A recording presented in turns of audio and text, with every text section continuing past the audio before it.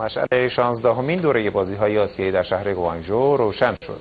مشعل بازی ها رو هیچونگ قهرمان شیرجه چین روشن کرد. پس از اون ورزشکاران کشورهای شرکت کننده مقابل 25 هزار تماشاگر رژه رفتند کاروان ورزشی ایران هم با پرچمداری سمد نیکای بهرامی کاپیتان تیم ملی بسکتبال ایران از مقابل جایگاه عبور کرد. در این مراسم 46 کشتی به نمایندگی از تیم‌های شرکت کننده به ترتیب روی رودخانه شهر گوانجو حرکت کردند. کشتی که حامل ورزشکاران ایرانی بود نمادهایی از میدان آزادی تهران و برخی دیگر از آثار باستانی ایران روی آن طراحی شده بود. در این دور از رقابت‌ها که از شنبه آغاز میشه بیش از ده هزار ورزشکار از 45 کشور آسیایی حضور دارند. کاروان ایران هم با 284 ورزشکار مرد و 80 اصلا انگار نه انگار. انگار نه انگار که به خلیج همیشه فارس گفتن خلیج عربی.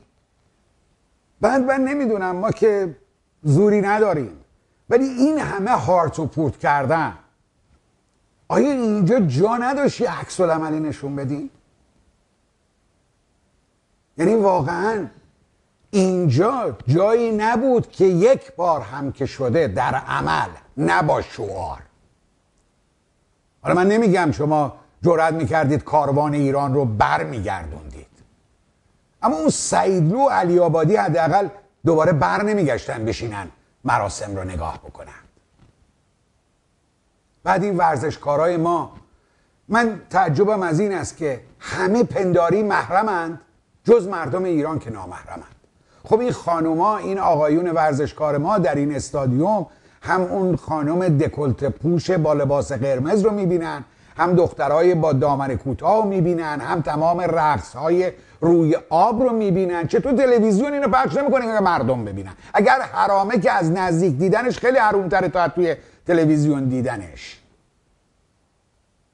بعدم عرض کردم حالا هم دیگه صحبت مکتب ایرانی. واقعا من نمی‌دونم اسم یه آدم رو باید چی گذاشت که از وطنش از فرهنگ وطنش از زیبایی های وطنش از ارزش های وطنش هم بخواد ابزاری استفاده بکنه. حالا آدما و چه می‌دونم توجیهات ایدئولوژیک و اینا به جای خودش.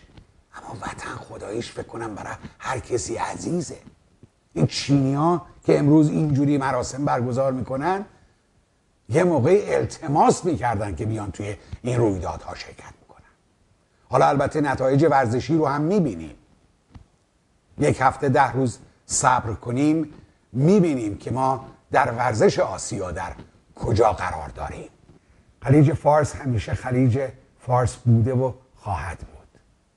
اما ما باید به این فکر کنیم که چرا فقط ما میگیم خلیج فارس چرا همه بی شدند.